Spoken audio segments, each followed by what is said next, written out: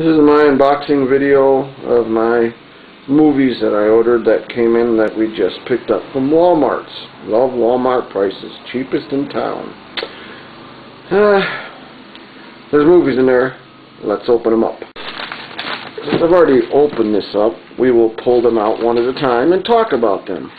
Unboxing video of Godzilla vs. Space Godzilla and Godzilla vs. Destroyah, the 1990s Godzilla. The 1990s Godzilla vs. Destroyah is probably one of the greatest Godzilla movies ever made, where he actually dies, and where baby Godzilla is fairly big, and he gets killed too.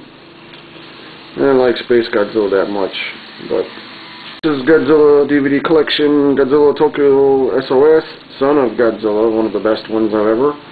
And Godzilla vs. Mechagodzilla, which is the older 70s Godzilla vs. Mechagodzilla, not the 1990s. The original Gojira, 1954. Not the Raymond Burr version, the Japanese version. Although this disc does have the Raymond Burr version, it's collector's editions with some goodies in it. This is wrapped in nice, terrible plastic. Since this is an unboxing video, plastic is part of unboxing. The lens cap. But unboxing videos are stupid.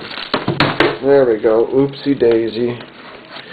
Now it's partial. Now we got this nice little cover we're not going to rip. I still hate doing this one-handed. It says it's got a audio commentary, 16-page booklet, original theatrical trailers, remastered. Go. Let's open this up. Look at that. Godzilla Gojira DVD. Look at that. Original Godzilla. The booklet. Look at that. It's probably got pages. Sure does. It's got pages.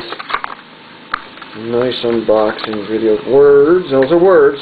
Some people. And a picture of the Okay, and there is the Godzilla, the one most people have seen with Raymond Burr which has a lot of cutout scenes because it was extremely anti-American, and Americans in the 50s were still pussies, and still are today. Here it is, the collector's edition of Godzilla and Gojira, 1954 Japanese. I do sucky unboxing, but I ain't getting paid for it, so who cares?